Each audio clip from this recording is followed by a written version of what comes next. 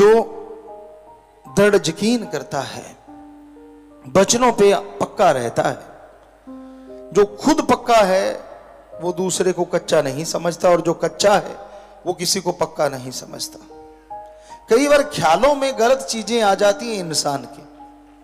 पाँच चार मिनट सुमन कर लो, वो आई हुई चीज़ों का पाप आपको नहीं लगेगा, पल में खत्म हो जाएगा। इससे आसान तरीका और क्या हो सकता है भाई?